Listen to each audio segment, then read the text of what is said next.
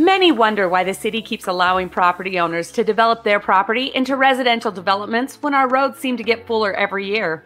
An understanding of state law on land use and development and the residential development process can help answer this question. This video will be the first in a two part series to explain state regulations the city must follow in regards to residential development and property owner rights. In this first video, we will be using a question and answer format to help residents understand the various state laws that protect the rights of property owners and their ability to develop their property for some profitable or desirable use. The following are questions we hear often from residents, so let's get started. Why doesn't the city stop accepting land development applications?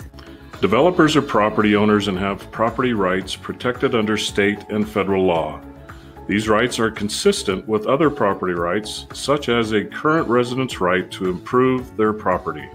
Under Utah state law, the city is required to timely review a development application to verify it is completed correctly and that it meets city code.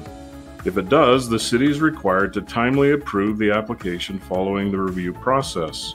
If an application doesn't meet code, the city is required to work with the applicant to amend their project or application to meet code. Once an application meets the required code, the city is obligated to take action and assist in moving the application forward. Why doesn't the city deny a development application? The city cannot deny an application that meets city regulations and applicable law. If the city denies an application, the applicant can appeal the land use decision and possibly have the decision overturned. This could open up the city to the possibility of further legal action on the part of the property owner and further repercussions that could negatively impact current residents. Can the city stop issuing building permits? The city cannot deny a building permit for a recorded lot if the building is allowed on the parcel and it meets building code. The city has 10 business days to approve a building permit application unless changes are needed for city regulation or building code compliance. Why does the city allow property to be developed before more roads are built to handle the traffic the new development can cause? Many have made the argument that growth should fund itself. The mayor and city council fully support this. For all development activity, the city charges fees based on the impact the home or business will have on the existing system.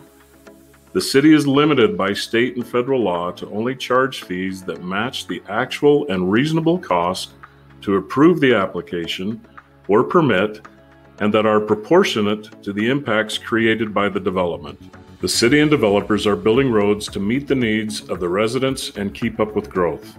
However, the city is limited by state and federal law to only require the construction of roads to meet the needs of the project itself, not the needs of the entire city.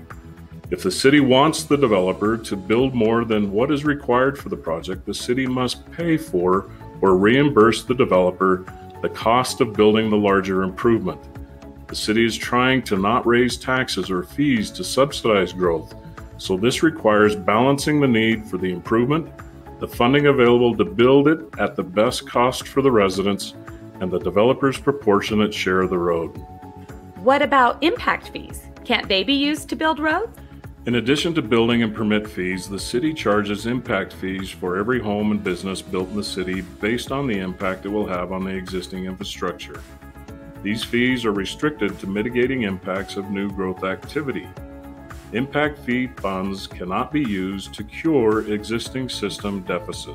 For example, impact fees can build new water tanks, sewers, parks, and roads and buy excess capacity in those systems. But these funds cannot be used for maintenance such as fixing potholes, repairing old water pumps, or replacing old playground equipment. Additionally, the city can charge impact fees for the developer's proportionate share of future city roads, but cannot charge the developer the entire cost of the future road.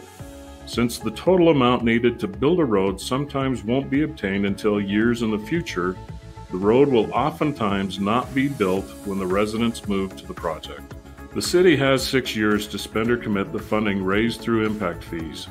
If a new home is built in Saratoga Springs in 2022, the road impact fee is about $872 per household. The city collects this money from this and other development activity until it has enough money to pay for large projects.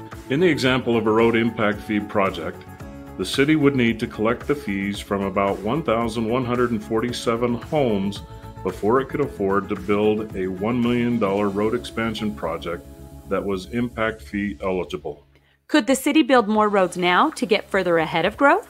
Technically, Yes, the city could. However, the council has chosen not to do this in most cases. The reasoning is that money for prospective projects must be spent from taxes or raised by bonding. Bonding requires current residents to subsidize the annual payments.